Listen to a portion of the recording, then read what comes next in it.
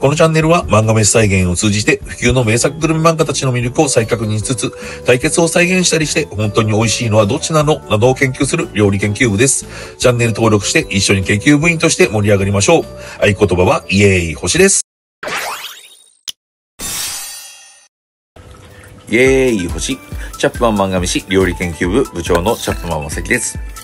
何をしてるかってこの漫画のあれを再現するためにでっかい氷を作っています。今回は鮎ともみじを閉じ込めた大きな氷を作って一本包丁万太郎の白糸そうめんの白的流しを作っていきます。ここに竹の筒を浮かべておけば後で穴を開けるのが楽になるそういう戦法ですね。そして上に重ねる方も作っていきます。これも真ん中にペットボトルを仕込んで真ん中に穴が開くように作っていきます。我が家の冷凍室には入りきらなかったので上の方は切ってしまいました。3日間くらい冷凍庫で固めました。それでは周りに飾る氷ですね。これはイオンさんで買ってきたでかい氷です。これを電の子で切っていこうと思います。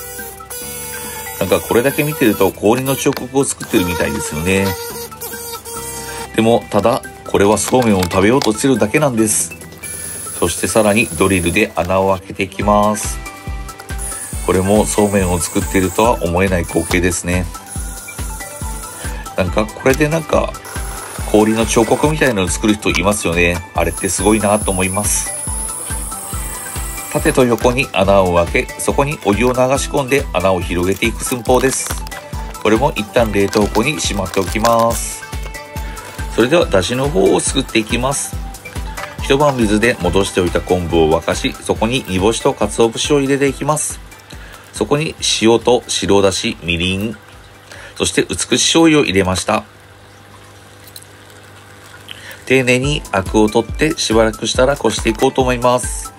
基本の出汁ができたので、ここから4種類のタレを作っていきたいと思います。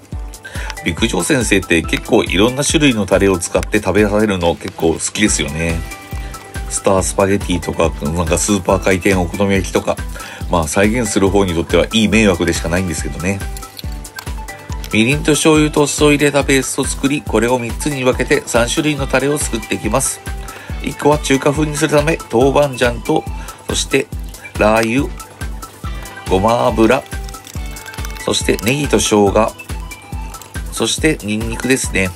こちらを入れて中華風のタレにします。あとはごまを散らしていきましょう。そしてこれはシンプルにごまだれを作っていきます。ごまドレッシングとラー油を加えて、そしてごま油を加えました。これでごまだれが完成です。あとは味噌だれですね。味噌だれのそうめんってあんま効かないですよね。これどうやって作っていいのかよくわからないので適当に作ります。まあ、味噌とみりんと生姜ネギを入れて、これを出して伸ばしていきます。あともう一種類はシンプルなそうめんだしですね。さっきのだしに白だしとみりんを加えました。一応描写はないけど、ネギとみょうがの方の薬味も用意しておきましょう。そのままやると水浸しになりそうなので、100均で買ってきた超ちっちゃいビニールプールの方を膨らましていきます。まあこれ子供用だとしたらちょっとちっちゃすぎかなって気はしますが、流しそうめんには最適なサイズです。そしてテラリウム用の循環ポンプの方も用意いたしました。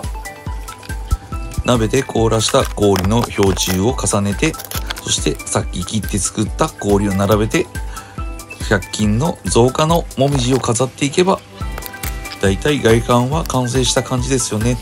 それではイボの糸を茹でていきましょう。何年か前にそうめんは茹でるなみたいな動画が流行ったけど実際には所定の時間ちゃんと茹でてちゃんと水洗いをしっかりすれば美味しいそうめんはできるようです。イボの色の社員さんのツイートが結構バズってましたね。そんな今度で準備が整ったので一本包丁万太郎の白糸そうめんの白滝流し完成です。では早速投げていきましょうって全然思ったところに投げれていません。それでは食べていきます。まあ普通に美味しいそうめんですね。まあ鮎の氷の生臭さとかが邪魔になるかなと思ったけどそうでもないです。そして思ったように流れてくれないですね。ちょっと水流が弱かったかもしれません。あと穴がもうちょっと大きかったらよかったのかなって気はします。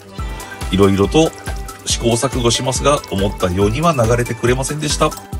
まあ今回でちょっとコツをつかんだので、これはズボラさんと一緒に一回ビッグジョー先生の前で再現する必要があるかもしれませんね。そして溶けてきた鮎が登っていきます。え、なわけあるかい？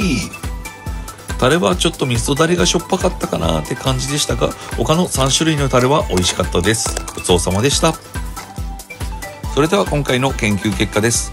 氷に穴を開けたいときは小さい穴を開け、そこにお湯を流すのが有効です。そうめんを流すためには強めの水流が必要です。氷漬けにした魚が生き返ることはありません。あと、そうめんはちゃんと茹でろよ。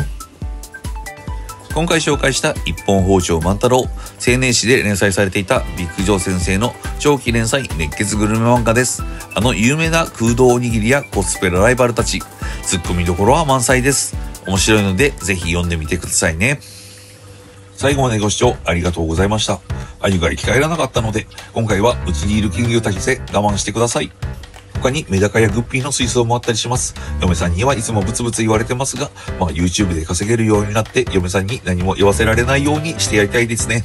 それではまた次の動画でお会いしましょう。バーイ